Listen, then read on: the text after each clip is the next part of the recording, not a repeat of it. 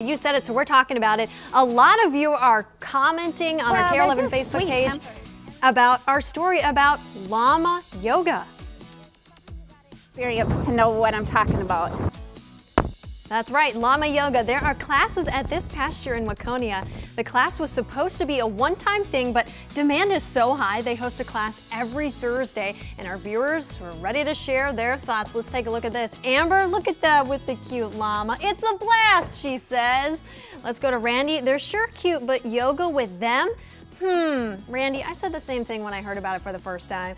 Jean, well, I'm speechless. And Tracy is commenting to Melissa, llamas are the new goats. So let us know what you think. And hey, the person who did it all, our digital content producer, Mar- Marissa Yes. DiCandido, how was it? It was so much fun. And I have to say that a lot of people I talked to were nervous because they're like, well, I don't really like yoga. But honestly, it's more about hanging out with the llamas. They were nervous about Yes. the yoga? well, because some people don't, they, they get nervous doing yoga. They don't like it if they're not used to it. But hmm. it's really like just hanging out with llamas. So it was fun. and they're big, aren't they? Yeah. They're huge, and it's so cool. They give you treats, so then you put them under your mat. So that's how the oh. llamas kind of come over and interact with you. And so, like, if one comes over, you can just take one out and feed them a treat. What While is you're a like- llama treat?